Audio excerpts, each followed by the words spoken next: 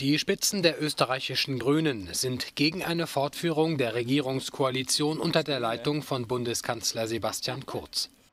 Gegen ihn und Vertraute des 35-Jährigen ermittelt die Wirtschafts- und Korruptionsstaatsanwaltschaft. Die Grünen begannen an diesem Freitag Beratungen mit den im Nationalrat vertretenen Parteien, um mögliche Alternativlösungen auszuloten.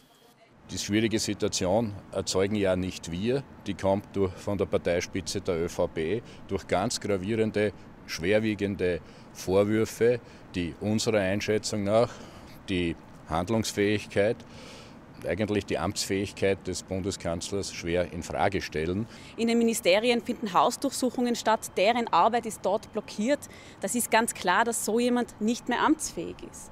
Ähm, und selbstverständlich hat die ÖVP hier auch eine Verantwortung, eine untadelige Person zu nominieren, ähm, die diese Regierung weiterführen kann.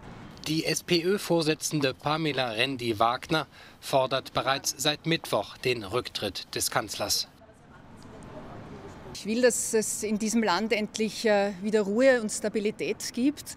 Und ich will nicht, dass dieses Land regiert wird von jemand, der ständig mit der Justiz konfrontiert ist, äh, bei dem ständig Korruption im Raum steht. Ich glaube, es braucht endlich eine Politik äh, wieder des Anstandes und der Stabilität. Und das geht mit dem System Kurz nicht. Die Opposition will am Dienstag einen Misstrauensantrag gegen den Kanzler stellen. Dieser hat aber nur Aussicht auf Erfolg, wenn auch die Grünen gegen Kurz stimmen. Bundespräsident Alexander van der Bellen tauschte sich mit allen Parteien aus. Sollte kurz am Dienstag das Misstrauen ausgesprochen werden, wäre das Staatsoberhaupt am Zug.